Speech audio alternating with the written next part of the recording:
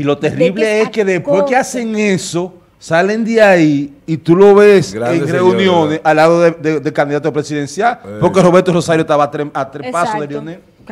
Y era el, el presidente de la Y yo Junta. te pregunto a ti. eh, ¿Qué garantías, Tú, tú que eres? Ministerio Público, que además fuiste Ministerio Público, nunca has sido eh, partidario de andar así cogiendo guau.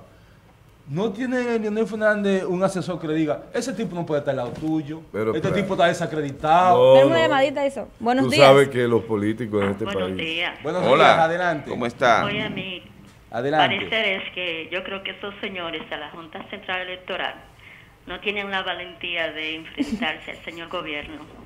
Eso es mi parecer, siempre lo han sido así, siempre han obedecido órdenes del gobierno que está. Bien, Gracias. gracias. Gracias por tu llamada.